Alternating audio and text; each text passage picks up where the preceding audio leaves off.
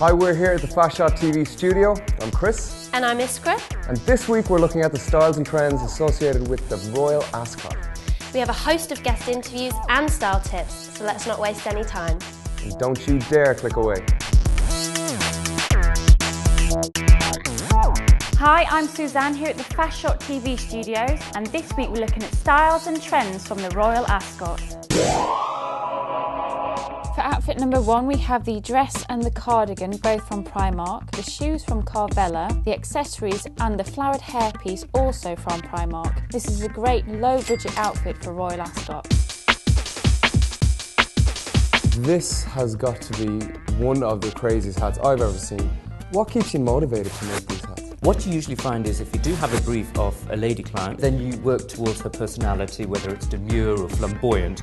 But you know, with the showpieces and the catwalk hats, I just think, you know, let the imagination just go crazy. Hi, I'm Liana from Fashot TV. We're here today at Royal Ascot to check out this year's latest fashions and trends. So tell us, what are the most dominant trends here at Royal Ascot? Uh, lots of hats, shoes, outfits, um, gorgeous looking women and handsome looking men. Talk us through your style today. What are you wearing? Well, I'm I'm wearing a coat dress by Lizzie Nolan and some shoes, which I, I don't know who they're by, uh, and my hat, which I fashioned. For outfit number two, we have this gorgeous dress from Beyond Retro, the cardigan, the belt, purse, and the hat also from Beyond Retro, and we've topped that off with a pair of shoes from Nine West from House of Fraser. Over the years, how do you think hats have developed and changed over the years? Today, in the Royal Enclosure, you have to wear a hat. Yes. But I think hats are really about self-expression. It's not about wearing a little neat hat to go to church anymore. Definitely. Tell us, with um, the British public, what advice would you give them when choosing a hat for Royal Ascot? The thing is, you have to try loads of different hats on. Hats aren't about just going into a shop quickly and say, oh, that, yes, that's me.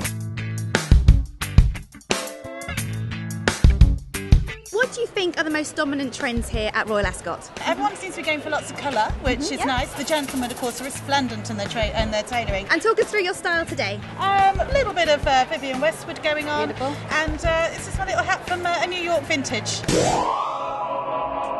For outfit number three, we have this stunning classic dress from House of Fraser, the shoes also from House of Fraser, the cardigan from Lipsy, and this spectacular hat from Louis Mariette. We all want to know is there any no nos, things you should not be wearing at the Ascot? Well, definitely not jeans. You can't wear mini skirts. You can't have um, spaghetti straps. You can't have halter necks. You can't have off the shoulder. Your straps have to be at least an inch wide.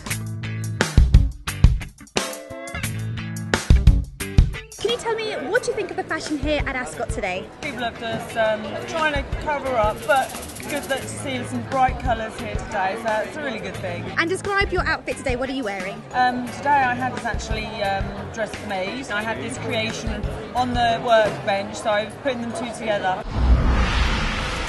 So that's all from us here at the Fashot TV studio. And if you can't wait for your next week's fashion fix, get us on Facebook and Twitter, Join us next week for our extra special Dress Factor episode. where we pit Britain's up and coming designers against our guest judges. Exciting isn't the word. See you next week.